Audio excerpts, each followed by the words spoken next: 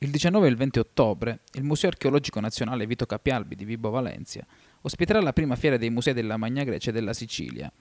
un'occasione importante per rivolgere lo sguardo all'intera Italia meridionale, con un'attenzione particolare verso i luoghi della cultura che ospitano le importanti testimonianze della colonizzazione greca. Ogni museo partecipante illustrerà il proprio patrimonio archeologico, divenendo così occasione condivisa di conoscenza delle testimonianze di ciascun museo. Tra gli obiettivi della fiera, quello di promuovere i siti e le destinazioni di richiamo archeologico, tra gli operatori turistici e culturali, i viaggiatori e gli appassionati. La fiera dei musei della Magna Grecia prende spunto eh, da un'idea eh, originale del Museo di Vibo Valencia, il Vito Capialbi, in occasione dei festeggiamenti delle celebrazioni per il cinquantenario del museo. Quindi si è pensato ad una fiera eh, di, una, eh, di, quella che è la caratteristica più, forse più peculiare della Calabria, che è la Magna Grecia, che è, un, è identitaria del nostro, della nostra regione e di regioni che sono contermini come la Campania, la Puglia, la Basilicata e naturalmente anche la regione Sicilia.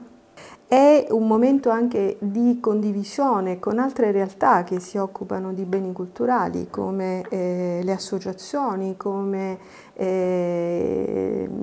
le start-up che si trovano eh, operative oggi sui beni culturali eh, lo spin-off dell'Unical, eh, aziende che lavorano ormai da tempo sulla eh, promozione e sulla eh, comunicazione a fini turistici del grande patrimonio culturale che ha la regione Calabria.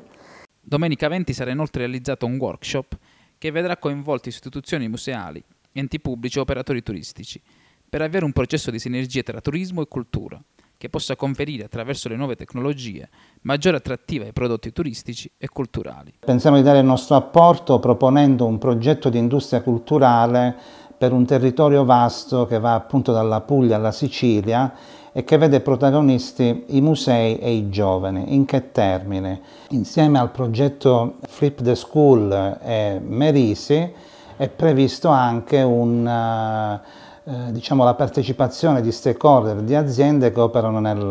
nel settore della cultura, per cui verranno presentate eh, due, eh, verrà presentata un'app innovativa che si chiama Merisi,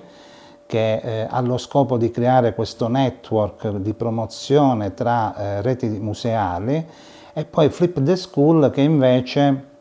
è un'iniziativa molto innovativa che avvicina eh, i giovani delle scuole medie all'ambiente del museo attraverso dei laboratori e con questo tipo di iniziativa ci auguriamo appunto di eh, contribuire ad incrementare le presenze museali e soprattutto a far scoprire la ricca eh, cultura magno-greca ai nostri giovani.